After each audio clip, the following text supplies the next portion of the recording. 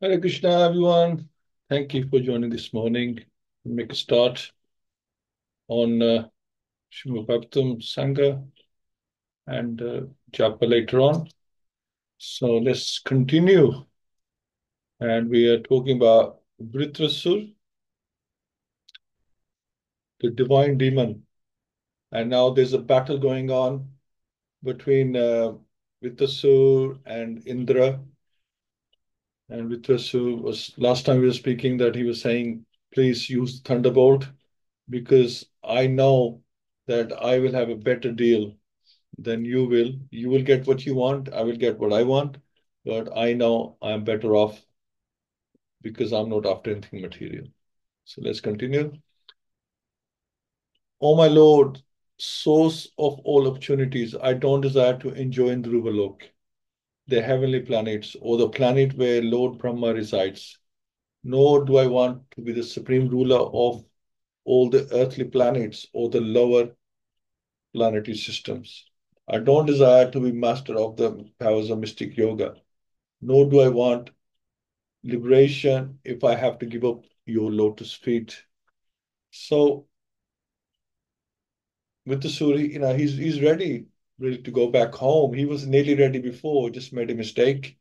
And uh, he's he's been a king, you know, he was King Chitraketu, and then then uh, he was uh, he was king uh, at that other heavenly planet, and uh, he's he's seen it. You know, he's he's been there. He knows it's good for a while, but then you know there's really no rasa in there. It runs of rasa. You know, these material things they run after rasa.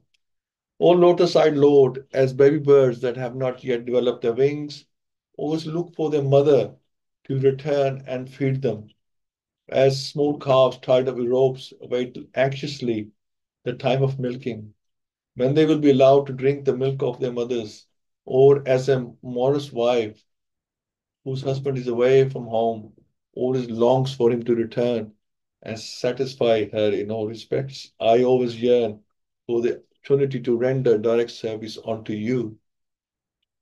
O my Lord, my Master, I am wandering throughout this material world as a result of my fruitive activities. Therefore, I simply seek friendship in the association of your pious and enlightened devotees. My attachment to my body, wife, children, and home is continuing by the spell of your external energy, but I wish to be attached to them no longer. Let my mind, my consciousness, my everything I have to be attached only to you. Let's pray. Om Namo Bhagavate Vasudevaya. Om Namo Bhagavate Vasudevaya. Om Namo Bhagavate Vasudevaya. Mukram Kroti Vachalam Pangum Langyate Grim Yat Kirpata Mandeshi Gurundin Tarman Paramananda Madham Shikstaneshwaram. Hari Om Tassat Narayan Namaskritya Naram Cheva Narotamam Devim Saraswatim Vyasam Tato Jemuduriyat Ashtapreshu Abtureshu Nitam Bhagavad Sevya Bhagavati Uttam Shloke Bhakti Bhavati Nestiki. So now Shukadev Goswami is explaining what's uh, what's going on here. Desiring to give up his body, Vritasur considered death in the battle preferable to victory. O King Parikshit, he vigorously took up, took up his trident and with great force attacked Lord Indra, the king of heaven, just as Kaitabha had forcefully attacked the Supreme Personality Godhead when the universe was inundated. So, although Vritrasur repeatedly encouraged Indra to kill him with a thunderbolt, King Indra was morose at having to kill such a great devotee and was hesitant to throw it. This is what the delay is. King Indra was uh, was morose and having to kill such a great devotee, and Vritrasur disappointed that King Indra was reluctant, despite his encouragement, took the initiative very forcefully by throwing the, his trident at Indra. Vritrasur was not at all interested in victory. He was interested in being killed so that he could immediately return home, back to Godhead, as confirmed in Bhagavad Gita, Taktava Dehan Punanjanma Neti Mam Eti. So Arjuna, after giving up his body a devotee immediately returns to Lord Krishna and never returns to accept another body. And this was Vritrasur's interest.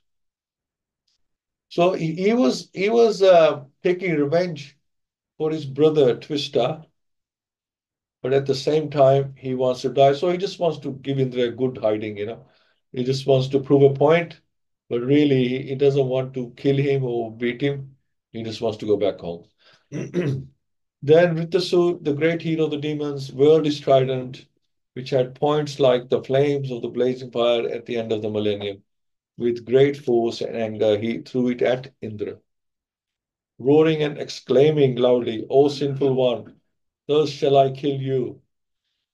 Flying in the sky with the trident resembled a brilliant meteor, although the blazing weapon was difficult to look upon. King Indra, unafraid, cut it to pieces with his thunderbolt. Simultaneously, he cut off one of Vritrasur's arms with his thunderbolt, which was as thick as the body of Vasuki, Vasuki, the king of the serpents. Although one of his arms was severed from his body, Vritrasur angrily approached King Indra and struck him on the jaw with an iron mace. He also struck the elephant that carried Indra. Thus, Indra dropped the thunderbolt from his hand. The denizens of various planets, like the demigods, demons, charans, siddhas, praised Vritrasur's deed. But when they observed that Indra was in great danger, they lamented, Alas, alas. So, yeah, so Vritrasur is really just, you know, giving a bit of pain to Indra, just scaring a little bit. Having dropped the thunderbolt from his hand in the presence of his enemy, Indra was practically defeated and was very much ashamed. He dared not pick up his weapon again. Vritrasur, however, encouraged him, saying, Take up your thunderbolt and kill your enemy. This is not the time to lament your fate. So Vritrasur continued, O oh, Indra, no one is guaranteed of being always victorious, but the original enjoyer, the Supreme Personality Godhead, Bhagwan. So he's the only enjoyer and he's the only one who's always victorious. He's the cause of creation, maintenance, and inhalation, and he knows everything. Being dependent and being obliged to accept material bodies, belligerent subordinates are sometimes victorious and sometimes defeated. So it's explained that the Lord says in Bhagavad Gita 15:15, Sarvasya cham hriday sanvishto mathasmriti jnanam apahanam cha. I am seated in everyone's heart, and from me comes remembrance, knowledge, and forgetfulness. When two parties fight, the fighting actually goes on under the direction of the Supreme Personality of Godhead, who is Paramatma, the Super Soul. Elsewhere in Gita, it says, Prakrti kriyamanani gunhi karmani sarvashah hankara vimudatma kartham iti manyate. The bewildered spirit soul, under the influence of the three modes of material nature, thinks himself the doer of activities that are actually carried out by nature. So we're doing the movements, the actions, but uh, the actual what's going on is in hands of God. The living entities work under the direction of the Supreme Lord the Lord gives the orders to the material nature and she arranges facilities for the living entities. The living entities are not independent, although they foolishly think themselves the, the karta or the doers. Is the thing that we are we are doing things, but we don't get necessarily get the results that we want. The ultimate result in Krishna's hand. So we cannot, there's no guarantees. But you still have to try because if you don't go through the endeavor, then you're not going to get any results anyway. Victory is always with the Supreme Personality Godhead. As for the subordinate living entities, they fight under the arrangement of the Supreme Personality Godhead. Victory or defeat is not actually theirs. It is an arrangement by the Lord through the agency of material nature. Pride in victory or moroseness in defeat is useless. One should fully depend on the Supreme Personality Godhead, who is responsible for the victory and defeat of all living entities.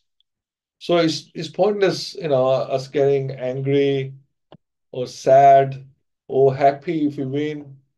Obviously, there's happiness, you know, we go through the emotions, but there's no need to overdo it because end of the day, it's, Krishna who decides.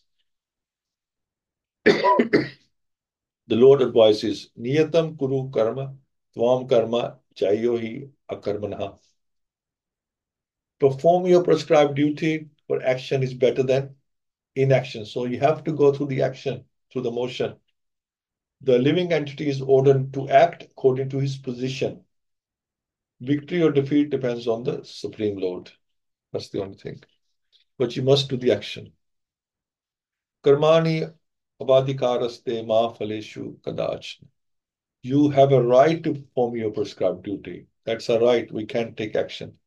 But you are not entitled to the fruits of the actions. But the fruits of the actions are in Krishna's hands, and we should not even try to enjoy the fruits of that action. One must act sincerely according to his position. Victory or defeat depends on the Lord. so we can't, just because we're doing something, we can't automatically assume that you know we will get this result, the fruit will be ours. It is not for us to decide whether we get fruit or not. Vritasura engaged, encouraged Indra, saying, Don't be morose because of my victory. There is no need to stop fighting. Okay, so you lost just, just now. You, you have some defeat, but don't give up. Instead, you should go on with your duty. When Krishna desires, you will certainly be victorious. This verse is very instructive for sincere workers in the Krishna consciousness movement. So it's a lesson for us. We should we should not be jubilant in victory or morose in defeat. We should make a sincere effort to implement the will of Krishna. O, o Sri Chaitanya Mahaprabhu, and we should not be concerned with victory and defeat. So we should not be jubilant in victory or morose in defeat. We should make a sincere effort to implement the will of Krishna, O Sri Chaitanya Mahaprabhu, and we should not be concerned victory and defeat. Our only duty is to work sincerely so that our activities may be recognized by Krishna. So we are we're not working for defeat or victory. We are working to satisfy Krishna. And then Krishna let Krishna decide which way he wants us to go. If he if he give us if he gives us victory, then we'll be encouraged to do more. If he gives us defeat, then we know that uh, that is the right thing. In this instance, that is the right thing for us. So it's fine. Because Krishna can do no wrong. He only thinks of our best interest. So all living beings in all the planets of this universe, including the presiding deities of all the planets, are fully under the control of the Lord. They work like birds caught in a net who cannot move independently. We have no independent, very little free will. Otherwise, we have no independence at all. Because after all, we're controlled by the three modes of nature. So whatever we do is decided by the three modes or whichever mode is dominant in us. So end of the day, you know, is we're not doing anything. The modes are, and the modes are, you know, Krishna's energy. the dif difference between the suras and the suras is that the suras knowing that nothing can happen without the desire of the Supreme Personality Godhead, whereas asuras cannot understand the supreme will of the Lord. In this part, fight, Vritasura is actually the Sura, whereas Indra is the Asura. So, Asura, Sura, Asura is not necessarily based on bodily appearance. It's the mentality which is Asura, Asura. Right? So you could look like a demigod, still be Asura, because if you're thinking like Asura, then you're Asura. No one can act independently. Rather, everyone acts in the interaction with the Supreme Personality Godhead. Therefore, victory and defeat come according to the results of one's karma. And the judgment is given by the Supreme Lord. Karmana Deva Netrena. Since we act under the control of the Supreme according to our karma, no one is independent. From Brahma to the insignificant ant, whether we are defeated or victorious, the Supreme Lord is always victorious because everyone acts under his directions. So our sensory prowess, mental power, bodily strength, living force, immortality, and mortality are all subject to the superintendence of the Supreme Personality of Godhead. Not knowing this, foolish people think the dull material body to be the cause of their activities. So, you know, whatever we get is is controlled and also given by the Lord according to our karma. How much body strength we have and uh, how much mental power we have, right? How much wealth we have is all controlled. O King Indra, as a wooden doll that looks like a woman, or as an animal made of grass and leaves cannot move or dance independently, but depends fully on the person who handles it. All of us dance according to the desire of the Supreme Controller, the personality of Godhead. No one is independent. So Vittasur is, you know, is is well tuned and he knows exactly what he wants and he uh, he understands the Lord completely and he understands relationship completely. Whereas Indra, you know, he has his own concoctions. this is confirmed in Chaitanya Charit Amrita. Akele Ishwar Krishna are sab britya yar yache nachay satecha kar nritya. Lord Krishna alone is the supreme controller and all others are his servants. They dance as he makes them do so. We are all servants of Krishna. We have no independence. Independence, we are dancing according to the desire of the Supreme Personality of Godhead. So, you know, Srila Prabhupada said, he said to the Lord, he said, look, I'm your puppet. Please now make me dance. You know, make me do what you want me to do. Make me dance the way you wanted me to dance. Now I'm here. Uh, I I surrender to you. Make me dance the way you want. And so that was uh, in Chaitanya Charitamrita. In uh, Brahma Samhita, Shloka 1, it's mentioned Ishvara Brahma Krishna Sachit Anand Vigraha. Anadi Radhe Govinda Sarva Karan Karanam. So Krishna is the cause of all causes. Krishna, who is known as Govinda, is the supreme controller. He has an eternal, blissful spiritual body. He is the origin of all. He has no other origin. He does not like, there's no other source that Krishna comes from. He is the origin of everything. For he is the prime cause of all the causes.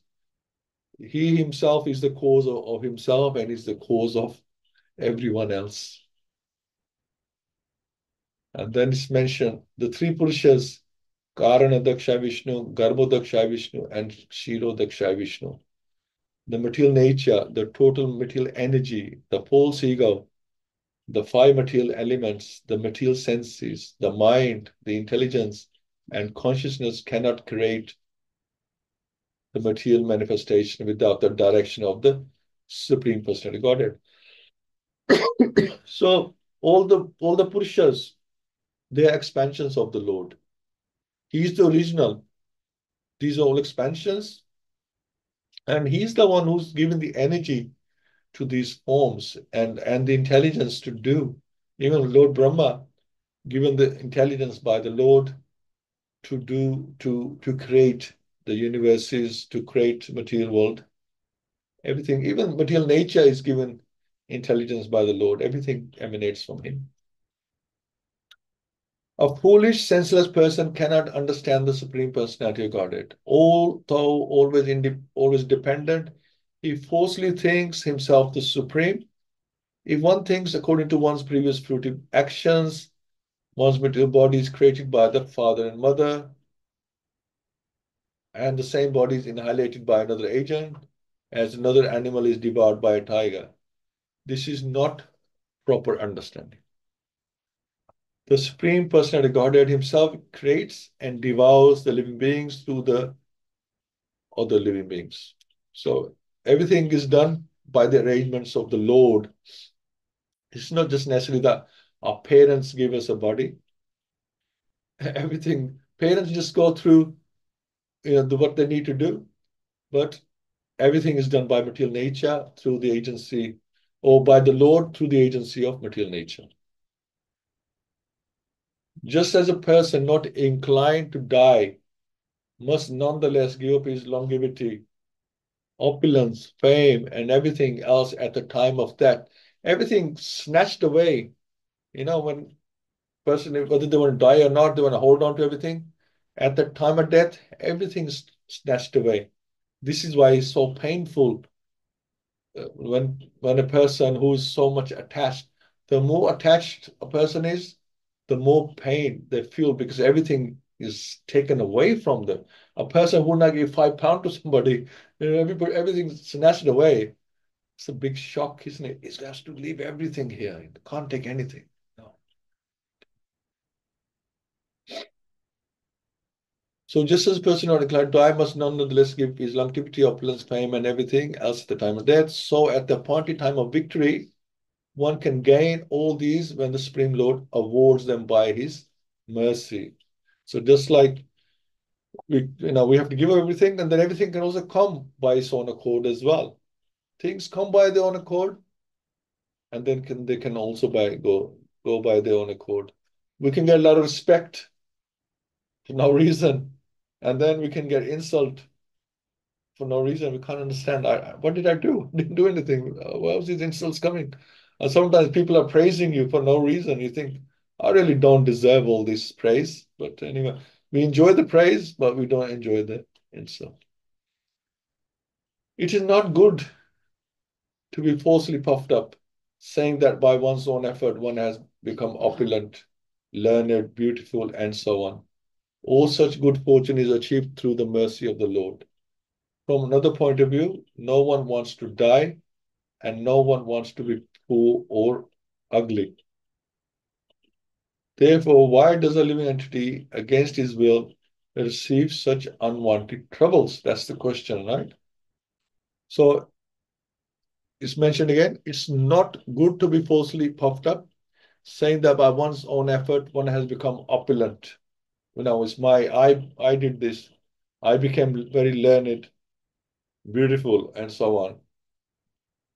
Yeah, so that's not really our own, or at least not only our own effort. All such good fortune is achieved through the mercy of the Lord. So unless the Lord wants you to have it, He sanctions it, you will not have it. There's three doers. There's us, the desirous, there's a material nature that takes the action, and the Lord sanctions that action. So from another point of view, no one wants to die and no one wants to be poor or ugly. But then if we have, then we have control, then why can't we control these things? Therefore, why does a living entity against his will receive such unwanted troubles? That's the question.